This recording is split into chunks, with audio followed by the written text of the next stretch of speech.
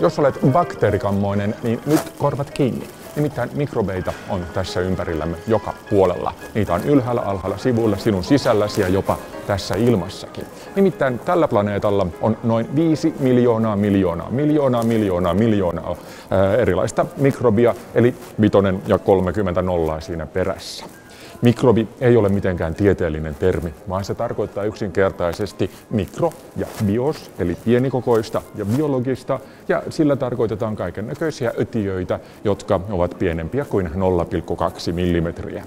Bakteerit, arkkieliöt, hiivat, monet levät, yksisoluiset ja itiöt, virukset ja alkueliöt ja niin edelleen. Niitä siis riittää ja hyvä kun riittää, elämä ei olisi mahdollista ilman mikrobeja.